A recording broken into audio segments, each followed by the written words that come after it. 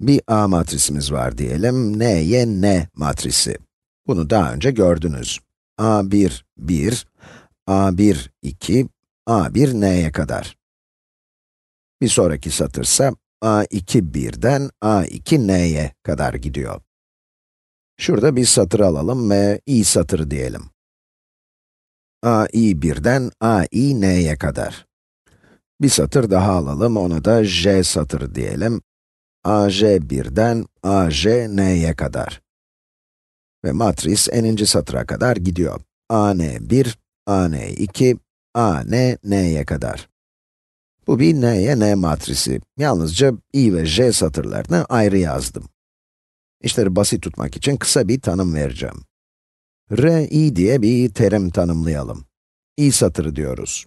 Eşittir a i 1, a i 2, a i n'ye kadar. İsterseniz bunu bir satır vektörü olarak da yazabilirsiniz. Satır vektörleri üzerinde henüz işlem tanımlamadık ama anlayacağınızı sanıyorum. Şimdi bu arkadaş yerine r1, şu arkadaş yerine r2 yazabilirim. Aşağıya kadar böyle yaparım. Böyle yapalım ve bu notasyonu önümüzdeki birkaç videoda kullanalım çünkü sanıyorum anlamanızı kolaylaştıracak. Şimdi bu A matrisini Ri olarak yazabilirim. Aslında bu vektöre benziyor, satır vektörü. Şöyle vektör olarak yazayım. Burada biraz fazla rahat davranıyorum. Aslında tüm vektörleri sütun vektörü olarak tanımlamıştık ama neyse, anlıyorsunuz. O zaman buna R1 diyelim. Bir sonraki satır R2, ta aşağıya kadar. Aşağı doğru giderken RI'ye rastlayacaksınız. Bu satır RI. Sonra da RJ'yi görürsünüz ve en sonunda n'inci satıra ulaşırsınız. Bu arkadaşların her birinin n adet terimi olacak çünkü n adet sütunumuz var. Bu, bu n'ye matrisini yazmanın farklı bir yolu. Şimdi yeni bir matris yaratıyorum. i ve j'nin değiş tokuş matrisi. Şu iki satırı, i ve j'yi değiş tokuş edeceğim, yerlerini değiştireceğim. Peki, yeni matris neye benzeyecek? Diğer terimler aynı kalacak. Birinci satır, eğer i ve j satırlarından biri değilse ki olabilir.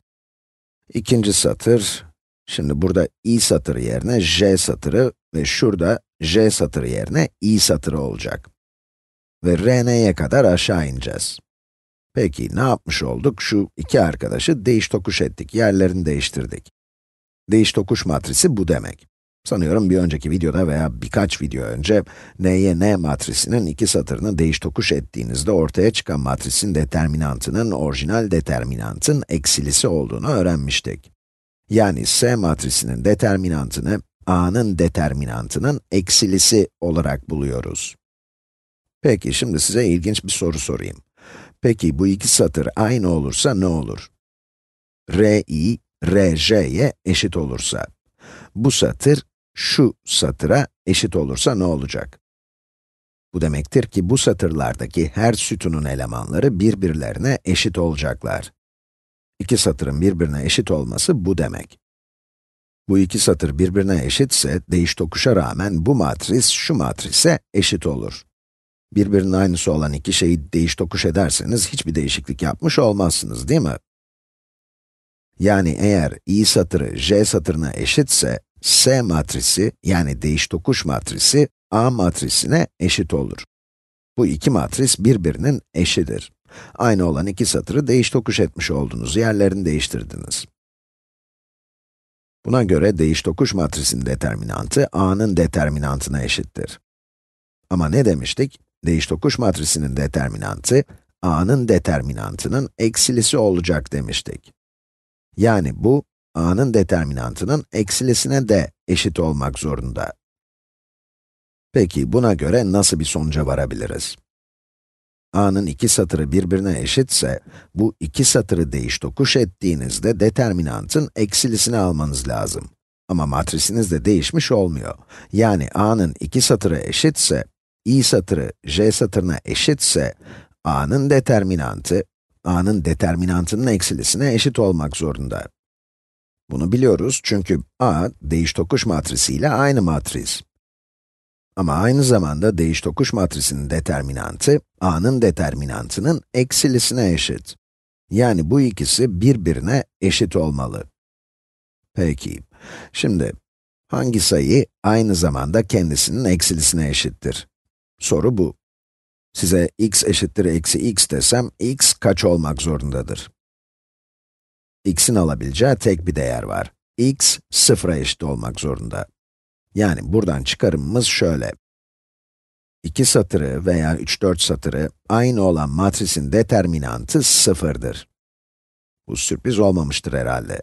Tekrarlanan satırlar hakkında daha önce neler öğrendiğimizi hatırlayalım.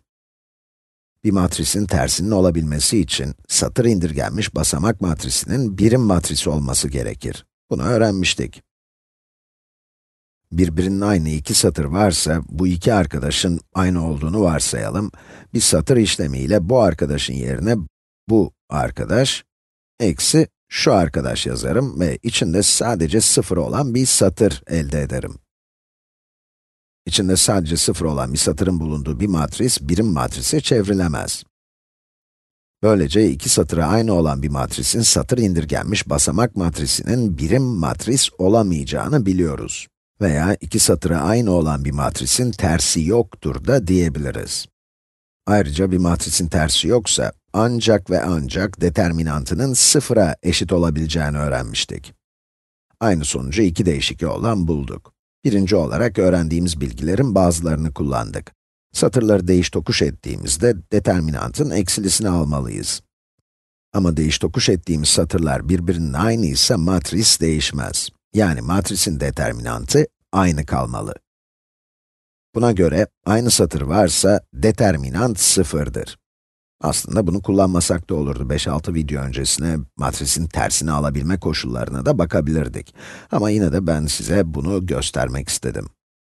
İki satırın veya iki sütunun sütun durumu üzerinde biraz düşünün. Aynı olması durumunda veya bir satır başka satırların lineer birleşimi ise determinant sıfır olacaktır.